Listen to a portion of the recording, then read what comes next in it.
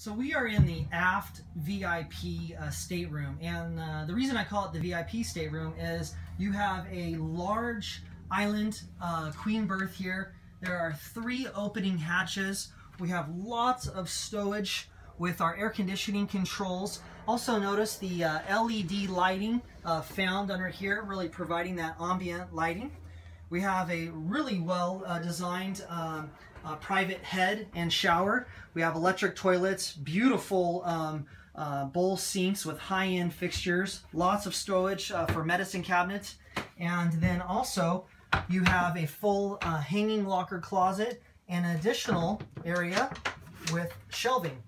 So a very nice, well thought out uh, VIP cabin on the Bali 4. So we're now in the forward cabin of the Bali 4.3. This cabin itself is uh, pretty impressive, uh, being that up in the forward section of a catamaran. You have a nice queen size bed here, lots of shelving, really high-end uh, reading lights, air conditioning controls, 110 outlets found throughout, and your own private head and shower.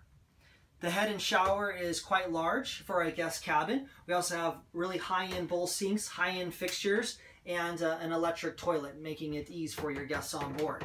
Behind the entry door is a full hanging locker uh, with additional shelving as well. A great cabin uh, on the Bali 4.3.